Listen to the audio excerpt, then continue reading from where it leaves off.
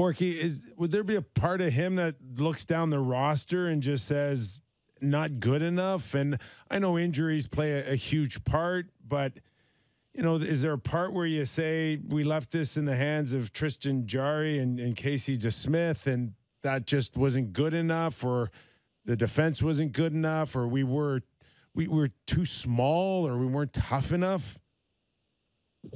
Fair question. Uh, very fair question. And you're right. I mean, put yourself behind that bench and you look at the nameplates as you go from left to right.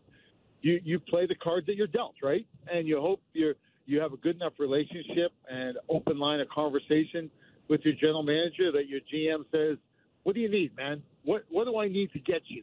You know, and if if that line of conversation is not a, a two way street, and you're not getting the players that you want, then yeah, it, you feel you feel almost like you've got handcuffs on.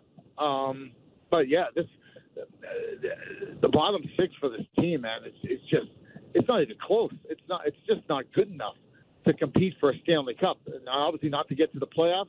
Probably the most disappointing part when you talk about the overall team and the skaters uh, were, are the goaltenders. Uh, they have just underachieved, and I, I feel like uh, such a fraud because when the Penguins came out of the gate four zero oh and one, you know my job is to analyze, and when I come on shows like yours, Nikki and, and Justin, you you want some expert analysis, right? And I went on about I think uh, Tristan Jarry and Casey Smith are two of the best uh, two goalies in a great tandem and all this, and it was just an injury and then a bad goal, and it just seemed to be one thing after another thing where you, you just feel like you can't trust these guys. And I felt that was a strength for the Penguins, and it ended, ended up being more of a weakness. So, you know, first off, we're all, you know, you're forgiven on that. You know, that is a it was a very unpredictable turn for Pittsburgh that obviously had a large impact on their season. There's but there's been listen, there's been a lot of jobs lost over particularly coaching jobs lost over goaltenders who didn't perform well.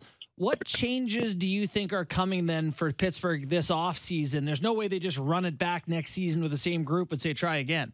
You know, just just before you add to that, Borky, to Justin's point, this is the Fenway group that are now the owners. Uh, uh, when you talk about Justin's uh, question and then answer it, uh, uh, give us a feel of the Fenway group and where they fit in all of this and how much they've really paid attention and who are they really? Well, that's something I'm hearing a lot from Penguins fans is they don't know.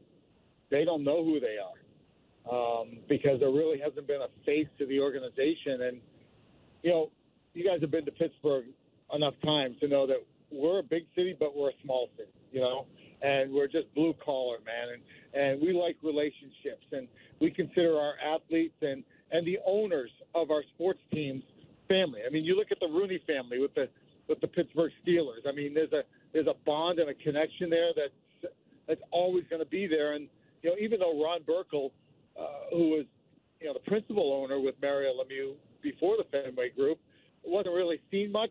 Mario was, and so he took the place of Ron. Everybody kind of understood that Ron was more the money guy and, and Mario was more the hockey guy, and it worked for everybody because we still had the big boy there. And now with the Fenway Group, a lot of people are like, "Who are they? We don't we don't know who owns the Penguins." Uh, maybe that'll change now that uh, you know the you know what's going to hit the fan here. I think a little bit, but kind of to to not ramble on here and get to your question, Justin. Uh, the number one thing for me is they need more size. They move, yeah. need more jam. They need more grit. I'll be honest with you. That's the biggest, the hardest thing for me to watch all year, guys, is to watch and Chris Letang and even if Evgeny Malkin. Guys just running the snot out of them, and you look around, and you're like, well, somebody, will somebody please do something? And I know they're looking over their shoulders, and nobody Nikki, nobody does a thing. It's it's I've never seen anything like it before. And so what do those guys do? They're not shrinking violets. They go and stick up for themselves. You know, and you know as well as I do. And I'm Justin, you understand this, especially Nikki, who played that role, right? If you saw Mark Messier get drilled from behind and you're on the ice, for the love of all that's holy, you didn't care if you got punched in the face 15 times. You went and stuck up for that guy because number one, Your teammates respected you, but just as much the opponent uh, respected you for doing it because it's the right thing to do. And I was taught as a peewee, and I remember the coach. His name was Beaver Robinson, and he was a spitter, and he's a yeller and a spitter. and he grabbed me by the jersey, right? He grabbed me by the jersey, and the, all that spit flying in my face, and he's like, he's like, nobody, nobody ever touches your captain, and nobody touches your goalie. And I'll never, I never forgot that. And I got punched in the face a lot sticking up for my captain and my goalie, and I just don't see it on the Pittsburgh Penguins team. So, Borky, where's where's Sid in all of this to say this? You know Sid though. Sid Sid doesn't color outside the lines. You know Sid.